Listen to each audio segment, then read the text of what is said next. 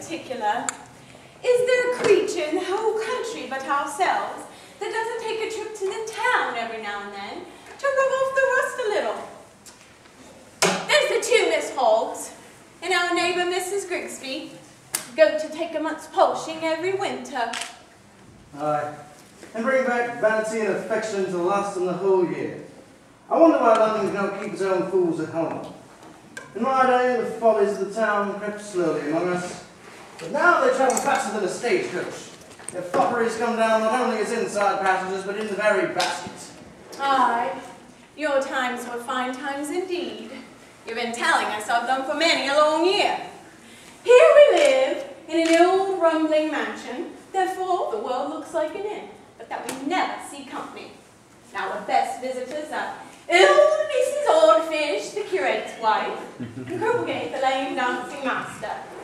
And all our entertainment, your old stories of Prince Eugene and the Duke of Marlborough. I hate such old-fashioned trumpery. And I love it. I love everything that's old. Old friends, old times, old manners, old books, old wine, and I do believe, Dorothy, you'll own that I've been quite fond of an old wife. Oh, Lord, Mr. Hardcastle, you're forever at your Dorothy's and your old wives. You may be a Darby, but I'll be no Joan, I promise you.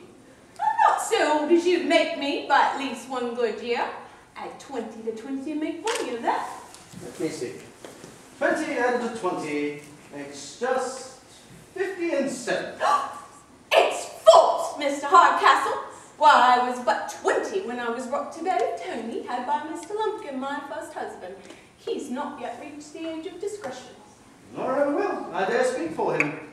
Aye, you have taught him finely. No matter. Tony Lumpkin has a good fortune. My son is not to live by his learning. I don't think a boy needs much learning to spend fifteen hundred a year. Learning, quotha, a mere composition of tricks and mischief. Humour, my dear. Nothing but humour. Come, Mr. Hardcastle, you must allow the boy a little humour. I'd sooner allow him a horse. If burning the footman's shoes, scaring the maids, and terrorising the kittens be humour, he hasn't. It was just yesterday he fastened my wig to the back of my chair, and when I stood to bow, I popped me bald head in Mrs. Frizzle's face. And am I to blame? The poor boy was always too sickly to do any good. A school would be his death. Perhaps when he comes to be a little stronger, who knows what a year two's Latin will do for him? Latin for him? A cat and fiddle? No, no. Yale House and the stable are the only two schools he'll ever go to. Well, we mustn't snub the poor boy, for I believe we shan't have him with us long. Anybody can look at his face and see he's consumptive.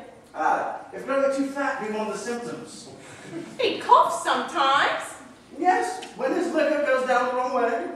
I'm actually afraid of his lungs. And truly, so am I. For sometimes he whoops like a singing trumpet. Hello, hello, hello. Oh, there he goes. Tony! A very consulted Mother, signature. Where are you going? Mother, I'm in haste. I cannot stay. This Three Pigeons expects me down every moment. There's some fun going forward. A low poultry set of fellows. Not so low neither.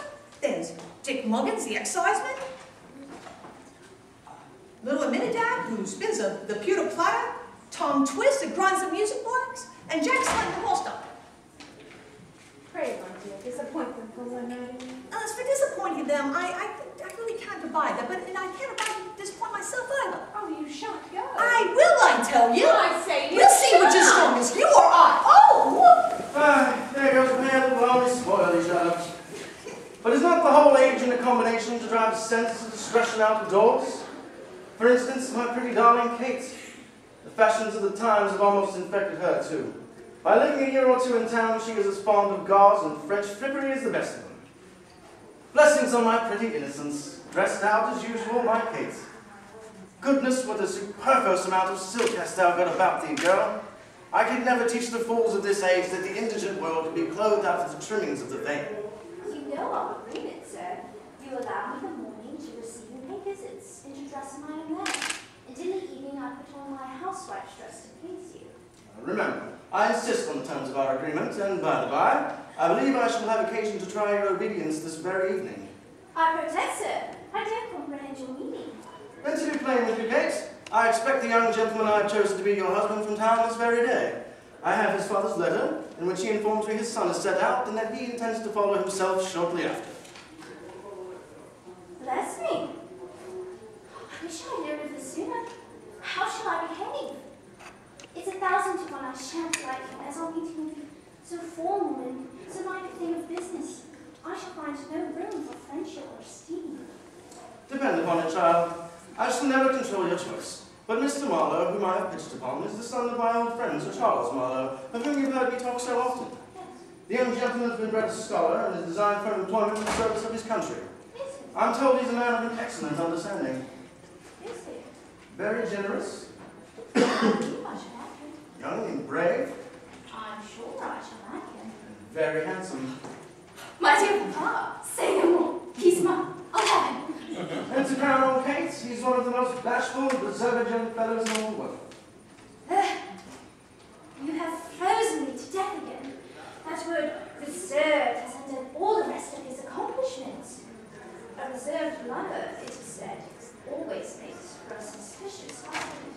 On the contrary, modesty seldom resides in a breast that is not enriched with nobler virtues. It's very his character that first struck me. Well, he must have more striking features to catch me, I assure you. But if he be so young, so handsome, and so everything as you've mentioned, I believe he'll do so. I'll have him. I think that there is still an obstacle. There's more than an even wager he may not have you. My dear papa, why will you mortify one so? Well, if he refuses, instead of breaking my heart to his indifference, I'll merely break my glass for its battery, set my cap to some newer fashion, and look at some le- less difficult admirer. Bravely resolved. In the meantime, I'll go and prepare the servants for his reception. As we seldom see company, they want as much training as a company of recruits first day's muster. No, not that. This news of papa's has me all in a flutter. Ooh, young and brave. These he put last, but I put them foremost. Sensible and good natured, I like all that. But bashful and reserved, much against him. But can't he be cured of his timidity by, by being taught to be proud of his wife? Yes, and can't I? But I vow, I'm disposing of a husband before I've secured a lover. Constance, I'm so glad you came. Tell me, how do I look today? Is there anything whimsical about me? I face today, child? Perfectly, my dear. Yet bless me. Sure no accident has not happened among the canary birds or goldfishes. No, Has your brother, Captain Medley, no. has the last novel been too moving? No, no, no. Nothing of all that. Well, I've been threatened. I can see us spit it out. Come on. I've been threatened with a lover. And his name? Is Marlowe? Yes, son of Sir Charles Marlowe. The most intimate friend of my admirer, Mr. Hastings. They are never asunder. I'm sure you must have seen him when you lived in town. Never. He is a very singular character, I assure you. Among women of modesty and virtue, he's the modestest man alive. But his acquaintances give him a different character among creatures of a different stamp. You understand me? Oh, an odd character indeed. I shall never be able to manage him. What shall I do?